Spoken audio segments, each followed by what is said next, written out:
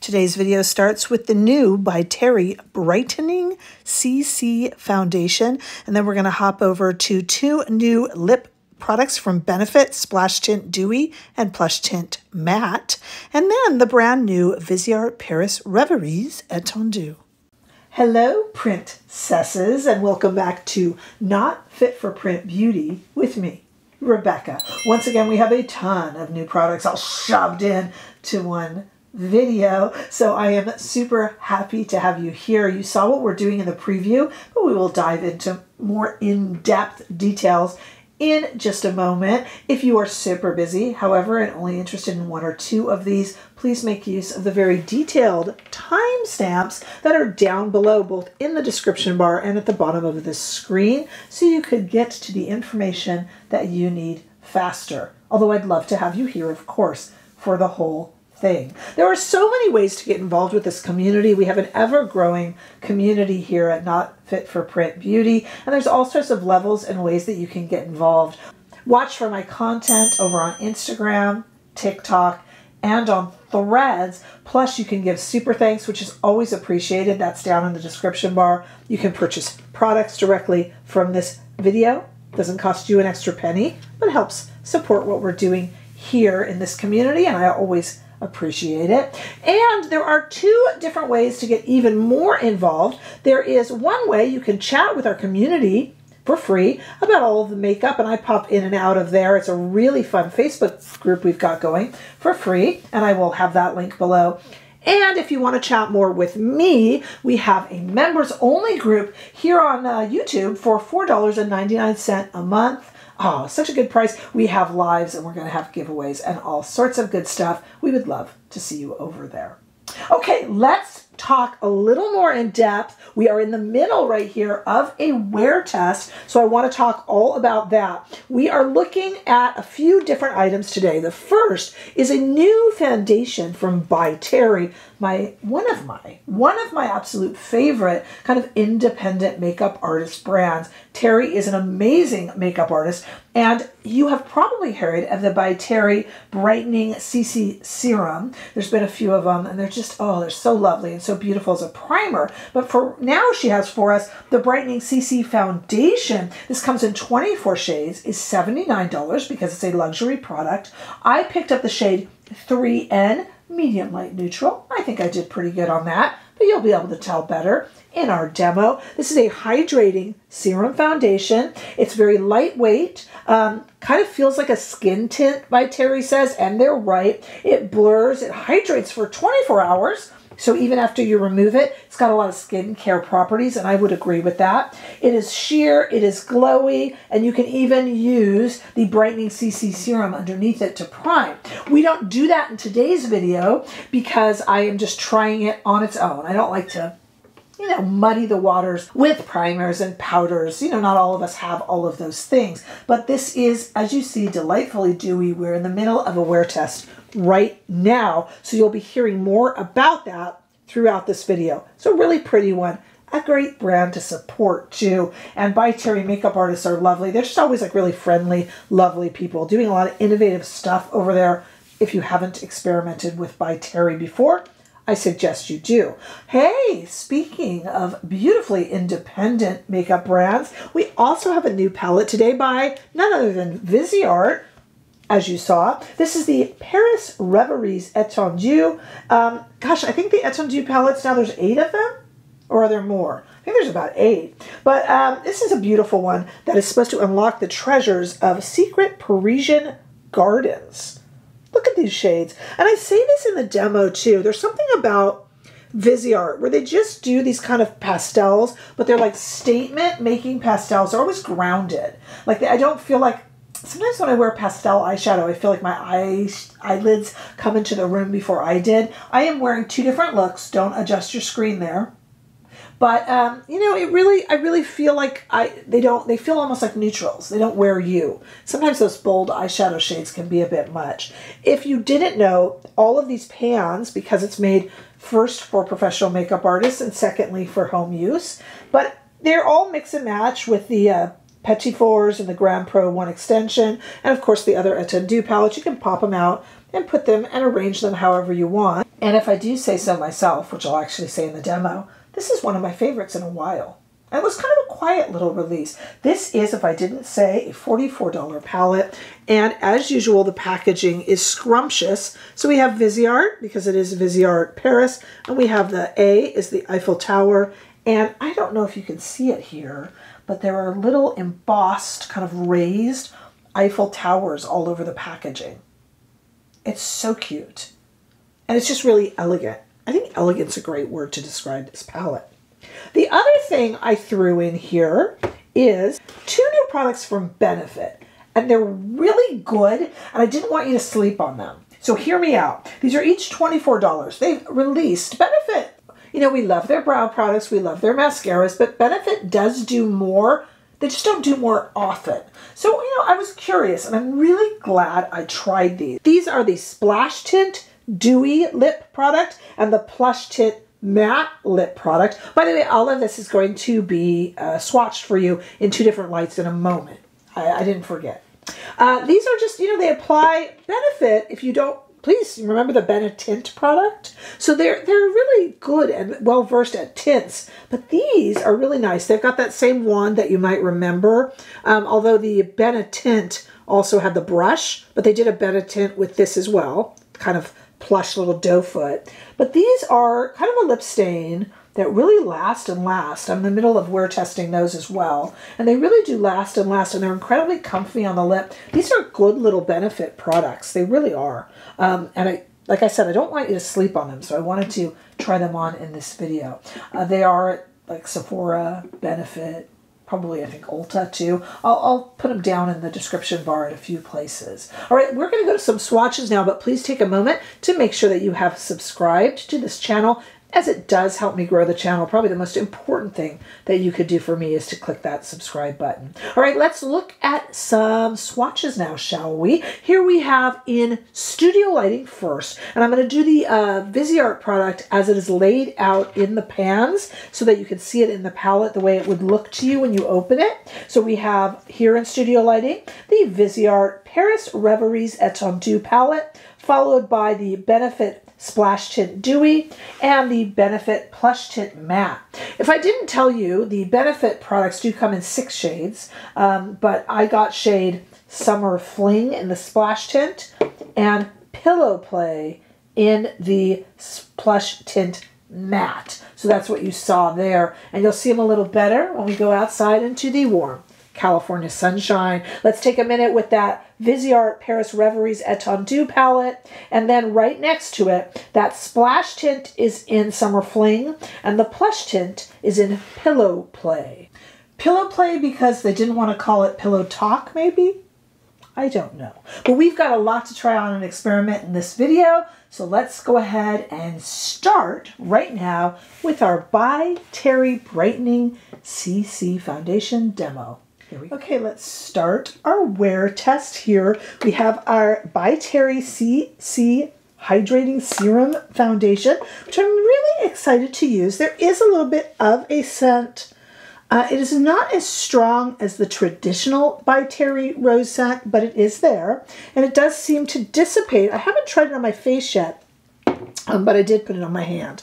Okay, as usual, right now I have, I'll put a little bit of concealer just in the inner corners of the eye, but I try not to do anything that could affect the performance, let's see about uh, my shade choice here, of the foundation, no, which means no primer, no setting spray, no powder, certainly. Why? Because we all use different types of powder. If there's a release at the same time, I'll try them out together, you know, um, but there hasn't been. Has a very cooling, interesting cooling sensation that's very comforting, comfortable and nice. Shade maybe a tad light. Won't be a problem when we do the whole face. Coverage very light to light medium, but it is buildable. Very lightweight, little bit too light of a shade, but nothing, uh, nothing criminal in that department. That's just one side of the face. Let's build it a little bit, shall we? Because that is a very light coverage. Not that I mind that at all, uh, but some of you might. I'm using a Merit brush here. Uh, I just came out with my hourglass video, a day or two ago, and I pretty much used up every brush, not foundation brush, but every brush is still drying. It takes them a while to dry if you really, really wash them well, and I did some foundation brushes in that brush laundry, and let me tell you, we still got a lot of brushes drying, and these Merit brushes are lovely uh, for foundation application. Got a little bit of a brush hair on my face there. What a pretty foundation. This side of my face is all done. Again, no primer. Right now, no concealer or powder or setting spray. And on this side of the face, I have morning skincare that's sunk in it. It has a very cooling, refreshing feeling. There is that initial burst of that rose scent that we are so familiar with, with By Terry, um, but it dissipates. It's already dissipated quite quickly, but I did want to tell you about it. All right, let me speed it up and we'll do the other side and then we'll let the square test begin.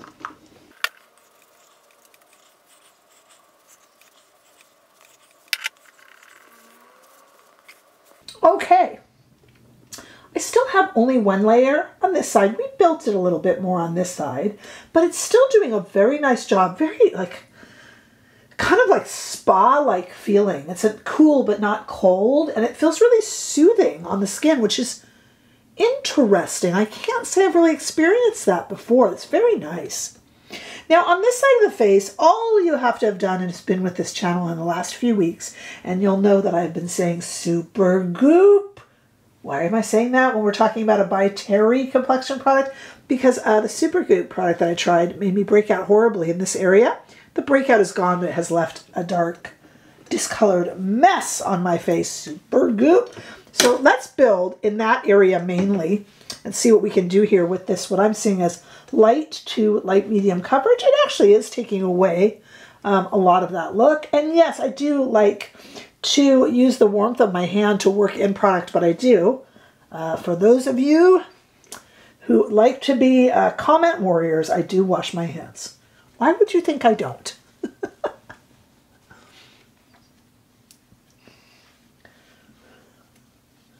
Okay. Nicely covered. Uh, still probably needs a bit of concealer. I don't blame the By Terry product for that. A super Supergoop did a number on me. So let's take a look here. I do see a little bit of a different look, so let it sit. This side has set a little longer. It's not any sort of oxidation. It just, you know, kind of has to meld with the skin. And it is early in the day here, and I've got all sorts of different stuff to do. So we're to let it ride, and then I'll come back in a few hours and we'll try on the rest of our products. And then um, that will serve as our check-in. So stay right there. Don't you move anywhere, because for you, it's to be like lickety... Okay, so I have been wearing this as a base. I actually did not put on any concealer whatsoever. So I've just been wearing this By Terry Brightening CC Foundation for about two and a half hours now. We're in the middle of the wear test. Do you know what else I've been wearing for two and a half hours, actually, that I just wanted to mention? The first of the new Benefit lip products that we're going to be testing. This is the, Spl the Plush Tint Matte. There's six shades, as you know. And this one, interestingly enough, funny how the world puts things together, also has a little bit of a rose scent to it as well. Um, I'll put a little more on now.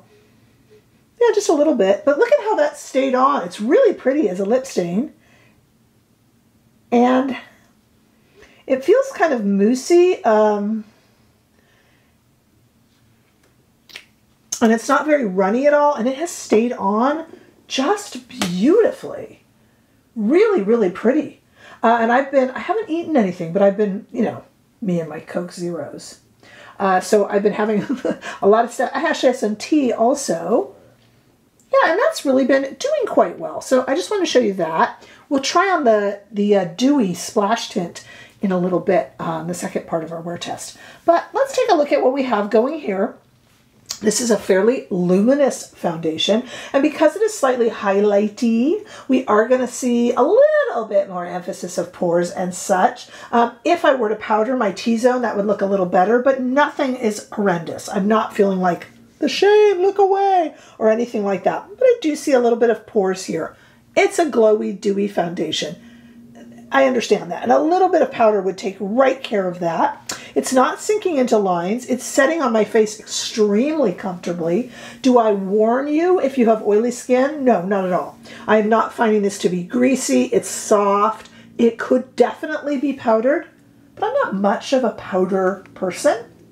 When not doing a first impression of a foundation, I will powder under the eyes or around the nose, sometimes the T-zone, and it looks like this could use that a little bit, but I'm not feeling um, like I look in the mirror and go, you know, uh, without powdering. So that's very, very pretty. And these lip stains, I'm kind of curious about trying the dewy one, but so far so good. Okay, let's go ahead and try two different eye looks with this beautiful new uh, Viseart Paris Reveries Etendu palette. Um, gosh, that's pretty. As only Viseart can do it. Super, super pretty. So let me get a, a Rephr number one, and we'll do two different looks here just for fun. And we're going to start with this shade right here and just put that all over the lid. This is kind of a in the pan, it's a real kind of apricot shade, but on the eye, it goes a real pretty pink. Let's go down. Same brush, and I'm just going to take that and put it over it. Over it. This is a kind of a violet shade. That would be really pretty with the violet new Dior shade that's out in the blush, wouldn't it? Which was in another video. And I'm going to take that same number one brush, look at that, and just go under the eye just a little bit just to kind of give it a little glowy halo and tie it together. And then let's take that same brush again, no need for more brush laundry, I've been doing enough of that, into that pretty cocoa shade and just put that right there into the corner. Just squiggle my brush around, just get a little bit like that. In my own inimitable way, I'm doing my quick eye looks and I think that's really pretty. And let's take just a little brush right here. I'm just kind of going down the line here and go into the center of the, uh, the inner corner, I should say, of the eye and a little bit onto the lid. Just a little bit. Wow. Wow, this is a really, really pretty, pretty Viseart palette. And I'm going to go into this sort of raspberry shade here and just kind of gently, just kind of tap that on with my finger uh, onto the mobile lid. And look at that for kind of a violet type. You know they do these purple shades so well over at Viseart. Isn't that pretty? Don't worry, we do have a wear test coming up uh, for many, many more hours on this foundation. But I just wanted to play with this eye look, even though I'm going to have two different looks. Here is a Rephr number 15. And let's do, from this side of the palette here, into this definite kind of orangey tangerine pastel shade. Wow, that's pretty. I'm putting that into the center, the corner, middle corner of the eye as well. And then we'll go with that same Rephr 15 into this pretty, pretty, pretty kind of taupey brown shade. Wow. You know, Viseart really outdoes themselves on these kind of Parisian chic washes of kind of, you know, statement pastels. They're not wimpy pastels, you know, really pretty pastel shades. And I think that's super pretty. Look at that. Let me put a little bit more of this initial apricot shade to just kind of top that taupe shade, top the taupe. Okay, and back with a smaller brush into this shade right here yeah, we're not using every shade, but it's representative. And, and you know, if you, like me, are a fan of Viseart shades, uh, you know how they perform just very beautifully. And how about this shade right here? Just right there in the center, just in the center. Wow. So that is one palette and these two incredibly differing looks. What do you think? Wow. So I'm a little mismatched. I, I'm a little mismatched. But I want to let this just run quite a few more hours. I'm not really going anywhere. Even if I did, people don't notice. You'd be surprised, you know? When you think you look a fright, trust me, I go out with two different eye shadow shades and nobody even nobody even bats an eyelid. Honestly, they think nothing of it. No one's looking at you that much, I guess, huh? Well, that's a disappointment with this pretty makeup on. Okay, I'm going to take quite a few hours so that we can finish out our wear test and let's see how it holds up. Stay right. Okay, we are at a total of eight hours now. I'm looking a little tired and getting ready to mm, get on with the end of the day now. So we have about eight hours total. A little later, I'll give you an update on, uh, I have to wear it for a few more hours, so I'll give you that update, but I'm going to be done filming now at eight hours in. When I tell you that that Benefit Plush Tint Matte would have kept going comfortably, I mean it. Um, but I even took a washcloth and took it off so that we could try on the splash tint because I'm interested in that too. And I think it would actually be pretty over the plush tint, but let's just try it on its own. And this one should have a little bit more glow. So this is not, I thought this would be much more of a gloss. No.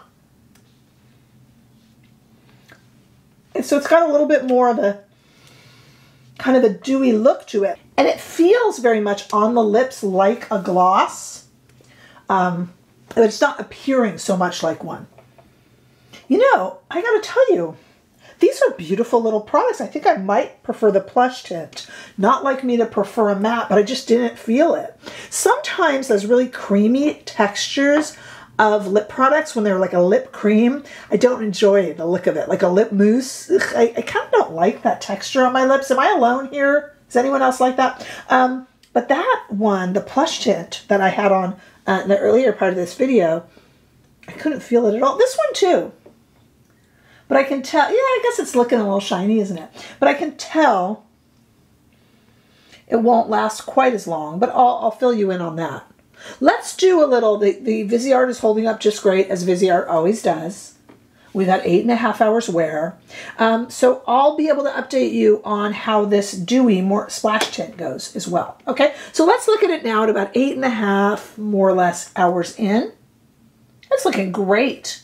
Little bit here, no difference between two hours in was our last check-in, two hours in, and now doing great. Still would need a little bit of concealer here um, with this kind of a breakout that I'm recovering from. I don't blame the By Terry product for that, not in the least. Um, it was covered a little better hours ago.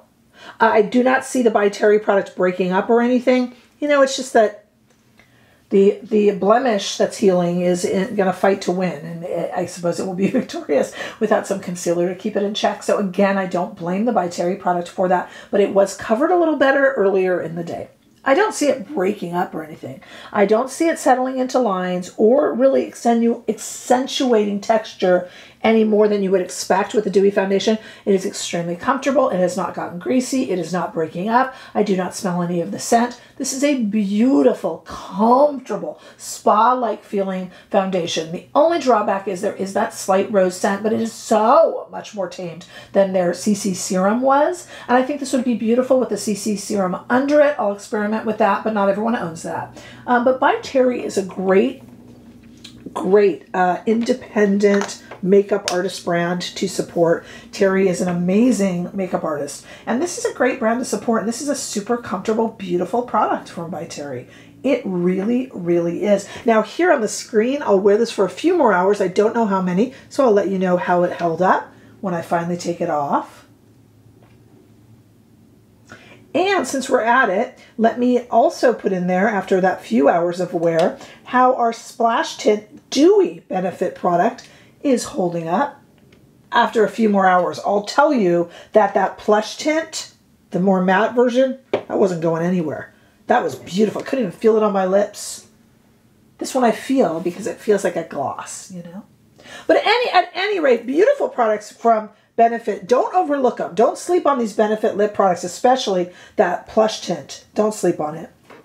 As for the By Terry, you know how I feel about that and my final thoughts.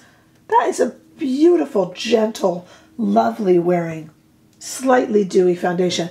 Awfully pretty. Good, amazing job on that. And for Viseart, say what you will, I think this is one of their prettiest big Etendu palettes um, lately. So much choice in terms of shades, but so, so gentle and pretty and floral almost for spring and summer without screaming color. And as usual, Viseart does those risky apricot and lavender shades so tastefully and so beautifully. So, uh, really a fan. We don't have a bad product in the bunch here. I would love to hear what you think. And have you, did you know that Viseart and Benefit and by Terry had come out with these? They're kind of quiet little releases, actually. All three or four, if you count both Benefit. So tell me what you guys think. I mean, that's what makes us a community. I would love to hear and answer any questions. Do you need this Viseart swatched or compared to any other Viseart palette or another spring light palette? Well, that's what I do over on my Instagram. You're welcome to request that here, or you can leave it in comments on Instagram or DM me on Instagram, and I'll get those comparisons up for you. That's what I do over there. All right, so let me know about that and any other questions that you have or swatch comparisons you need. This is what makes us a community. Don't forget to share and like, and of course, subscribe. And I look forward to seeing all of you in the next video. Bye bye.